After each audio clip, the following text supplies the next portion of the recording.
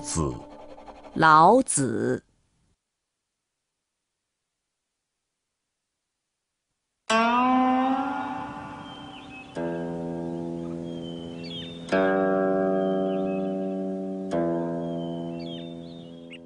Kongzi, the historical Chinese saint, is considered to be the greatest teacher of China.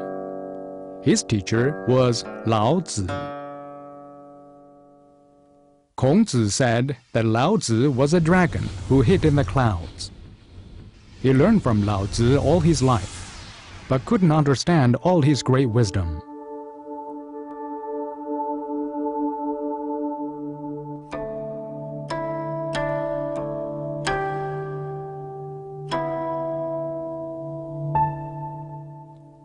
Two thousand five hundred years later, his work has been translated into many foreign languages.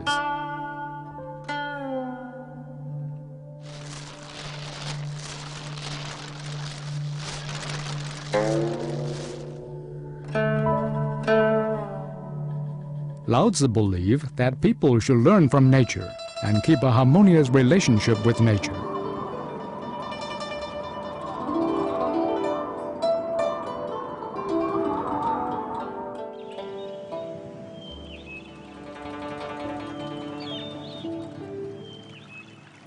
Beside a river, Lao Tzu told Kongzi that a saint should act like flowing water. Water gives life to others, but does not fight with others. A saint makes no error, and no one hates him. Therefore, he can make great achievements. In China, Lao Tzu is considered the elite of teachers.